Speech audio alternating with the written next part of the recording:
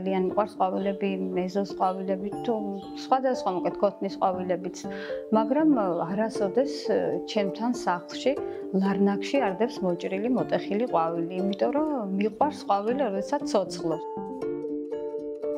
პროფესიით ვარ ტელერეპორტიორი და 2019 წლის ზაფხულში ორგანიზაციამ დავიწყო საქართველოს ისუფთავე გამოაცხადა ვაკანსია. ყვანილი ვიყავი პოზიციაზე კოორდინატორი გურიის რეგიონში. წელს გადავწყვიტე რომ მოკეთ გამეკეთებინა პატარა ბოსტანი.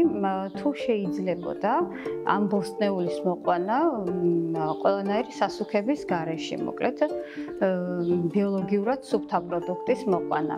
და გადავწყვიტე პამიდორი კიტრი, ბადრიჯანი, კიტრი ცოტა გაგვიბრაზდა, თავიდან კარგად იყო, შემდეგ გაგვიბრაზდა, მაგრამ პომიდორს და ბადრიჯანს არ აუშავს, ესე იგი შეძლებულა, რომ ადამიანმა არ გამოიყენოს ეს სხვადასხვა სასუქი, რომელიც შემდეგ შედის თვითონ ნაყოფში და შემდეგ მორთქდება, ну, არ ვიცი, ძალიან ბევრ ცუდ რამეს იწვევს და შეიძლება რომ ჩვეულებრივად ბიოლოგიური სასუქების გამოყენებით, ანუ ოჯახში რაც მოგვეპოვება ნეშონპალით და მურჩირების წესით თუ კომპოსტირებით, კომპოსტით უფრო სწორად შეიძლება ბოსტნის გაკეთება და ეკოპროდუქცია შესთავაზა ოჯახს, მაგრამ თუ ოჯახში მოკლედ გაამართლა ბოსტანმა, ვფიქრობ, რომ შემდეგ უფრო გავაფართო არეალი და ადგილობრივი ბაზრისთვისაც გავაკეთო მსგავსი რამ. ნახოთ, რამდენად გამომიყვა.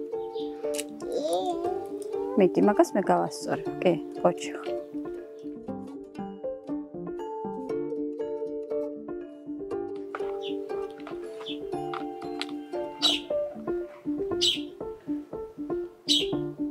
საკმაოდ მაღალია ეკოლოგიის კუთხით ახალი თაობის ცნობიერება.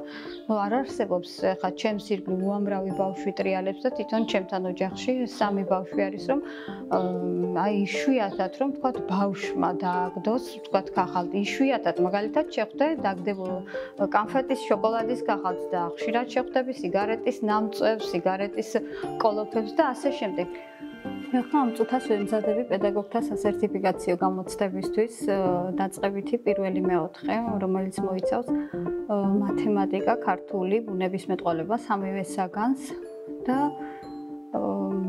ფიქრობ, რომ აი თუ მოხდი სკოლაში თუ შევედი მაძიებლობიდან, მოკლედ თუ გავხდი შემდეგ პედაგოგი, აუცილებლად ვიქნები მასწავლებელი, რომლის მოსწავლეებსაც ეკოლოგიური ცნობიერება ექნებათ ამაღლებული უმაღლეს დონეზე.